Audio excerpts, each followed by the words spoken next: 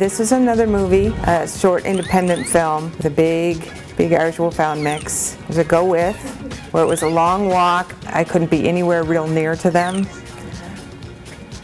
But even if the dog gets a little a bit ahead, it looks natural. It looks like they're, you know, a boy and his dog walking through the woods.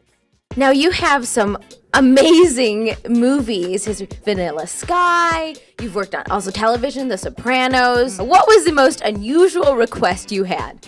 First, what comes to mind is a movie named Bliss, where I had to work one, a little eight week old puppy that had to learn a downstay and a speak, and a fly. I had to work with a fly. Now, obviously, you can't train a fly, but you can manipulate the environment so that when you chill it down, it slows down.